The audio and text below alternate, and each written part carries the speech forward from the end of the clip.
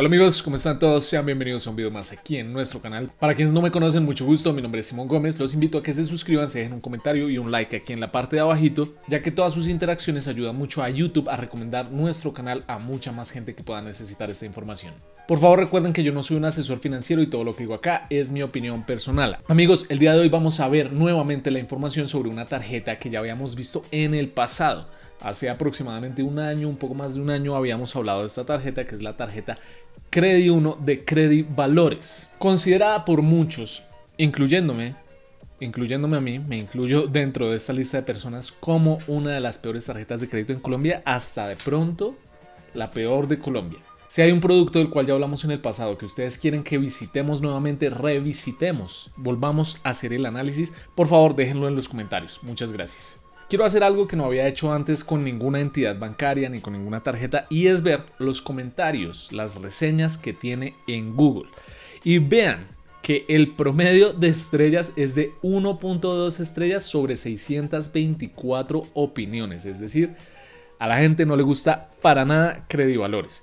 Vean que dice, temas que las personas mencionan más, entidad en primer lugar, estafadores en segundo lugar, deuda y robo. Eh, si damos clic acá, ladrones, cuota, usureros, ratas. eso está muy chistoso.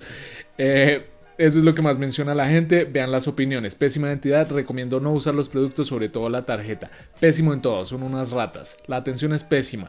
Qué tristeza. Pésimo servicio. Personas que tengan pensado tomar un crédito con esto, no lo hagan.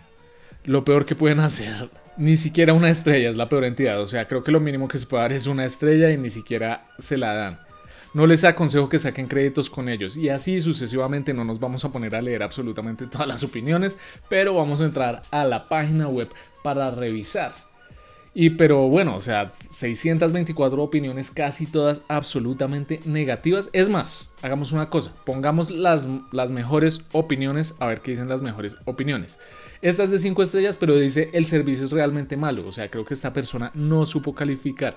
Re malo, ladrones, vea. O sea, 5 estrellas. Estos son unos estafadores, nunca contestan los teléfonos. Este sí se me atendieron muy rápido, entonces ahí va uno. Muchas gracias, me ayudaron mucho. Me encanta Crédito Valores, gracias por ayudarme. Bueno tener alternativas de crédito diferentes a las tradicionales, excelente servicio. Bueno, ya aquí empieza a aparecer gente bien o bueno, entre comillas, porque pues uno nunca sabe, ya hemos visto casos donde los mismos trabajadores de las entidades dejan buenas reseñas, ya nos pasó en un video en mi canal. Pero bueno, ahora sí, entremos a la página de Credit Valores a ver su tarjeta Credit 1 Visa. Entonces, vámonos directamente ya a la página. Tarjeta de crédito Credit 1 Visa. Aquí vemos una pareja muy contenta en su hogar que seguramente todo lo compraron con las tarjetas de Credit Valores. Nuestra tarjeta de crédito te permite adquirir todo lo que siempre has querido. Podrás disfrutar las mejores ofertas en las principales cadenas y establecimientos. Excelente. La tarjeta, para hacer una tarjeta de estas entidades que tienen mala reputación, no me parece horrorosa. Ojo, que tampoco me parece bonita, pero pues es una tarjeta muy normalita. Y si empezamos a hablar por el tema estético. Vamos a ver las características. Te pedimos muy pocos documentos para solicitar la tarjeta de crédito, entonces digamos que eso podría ser algo bueno. Solicítala en cualquier punto de venta del país, ¿no se podrá solicitar online? Bueno, ahorita más adelante vemos eso. A medida que realices los pagos mensuales se te liberará cupo para que puedas hacer nuevas compras con tu tarjeta de crédito. Con la tarjeta de crédito adquieres un seguro de vida que garantiza el cubrimiento de la deuda en caso de fallecimiento o incapacidad total y permanente. Tienes la oportunidad de adquirir un seguro voluntario y es en este tema el seguro voluntario que mucha gente manifiesta que ni les informan, solo se los meten y es como, ay no, es que usted accedió al seguro voluntario y que después quitarlo es que es súper difícil. Esto no me consta a mí, es lo que dice la gente, pero bueno, tenganlo presente. También dejen saber en los comentarios si han tenido la tarjeta Credit 1 o algún producto Valores, cómo les ha ido. Déjenos saber su experiencia, así todos podemos nutrirnos no solo de lo que dice en Google Reviews, en Google Maps, en lo que sea. Dispones de facilidad de pago a través de la factura de la ESP o por extracto individual. Aplican condiciones. Cuentas con la opción de avances en efectivo de acuerdo a tu perfil. Aplican condiciones y restricciones. Podrás solicitar una tarjeta amparada para que un beneficiario mayor de 18 años pueda realizar compras en cualquier establecimiento a nivel nacional o realizar avances en efectivo. Comparte hasta el 50% de tu cupo. Vean, los avances se pueden hacer en cualquier punto efectivo. ¿Cómo adquirirla? Solicítala en línea acá. Bueno, se puede solicitar en línea. Ya habíamos dicho, acércate a cualquier punto de venta, presenta tu cédula original, ten en cuenta que debes llevar un recibo de servicio público. Para la tarjeta amparada decir con beneficiario y ambos deben presentar su documento. Reclama tu tarjeta de crédito, crédito no visa o tu tarjeta amparada sin ningún costo. Muy bien. Entonces, puntos de venta. Bueno, ahí está en las ciudades donde se puede adquirir. De pago, aparecer se puede por PSE, por Efective Banco Colombia, Banco de Bogotá, convenios ESP. Cuotas y costos asociados. Vamos a ver.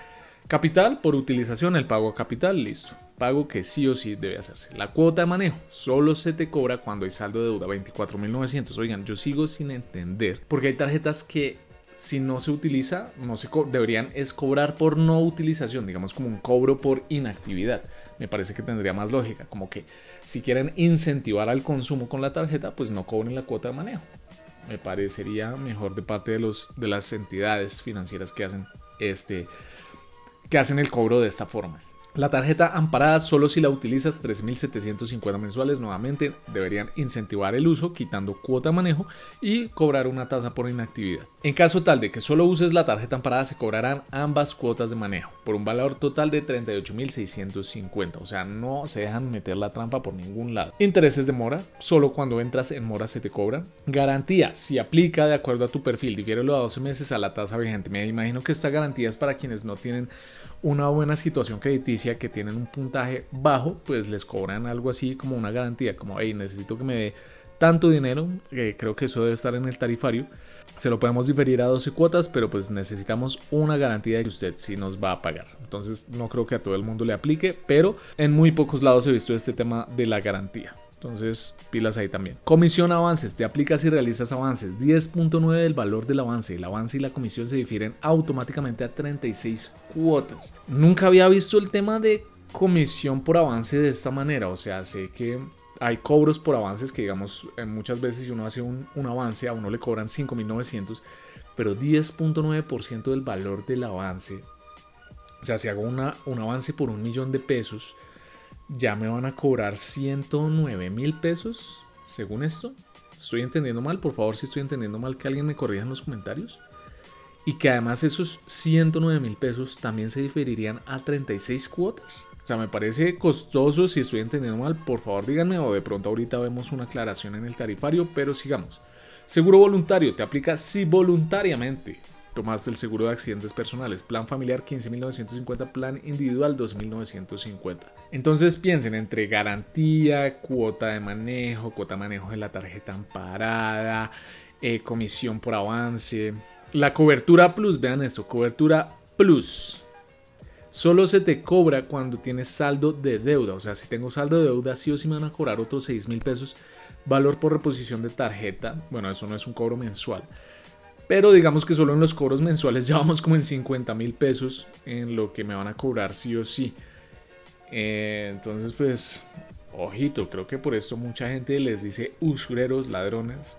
Nunca he sido usuario de los señores de crédito valores, pero pues podemos ver que no tienen la mejor reputación dentro de las entidades financieras. Tenemos que la tasa de interés es la más alta que se puede aplicar. Ojo que aquí ustedes están viendo la tasa del mes de enero, porque yo estoy grabando esto en el mes de enero, pero puede que esto lo estén viendo en el mes de febrero, pero tienen la tasa de usura. Es decir, para el mes de febrero va a quedar en 45, no me acuerdo qué fue que quedó, pero por encima ya del 45%, 45 algo.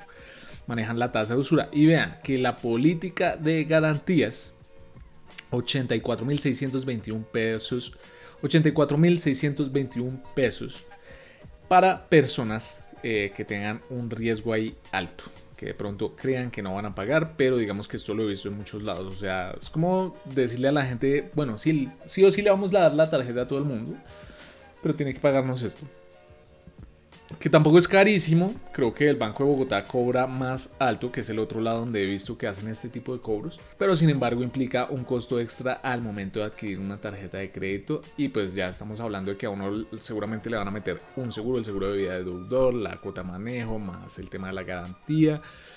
Entonces, ojo, que esta sea una de las tarjetas que pues definitivamente si no les dieron ninguna otra, consideran considérenlo muy bien antes de sacarlo. Nuevamente sería muy interesante ver las opiniones de gente que ya haya manejado este producto o cualquier otro tipo de producto con crédito valores para que nos digan cuál fue su experiencia con la entidad. o cuál está siendo su experiencia con la entidad. Amigos, no siendo más por el día de hoy, nos vemos a la próxima. Chao.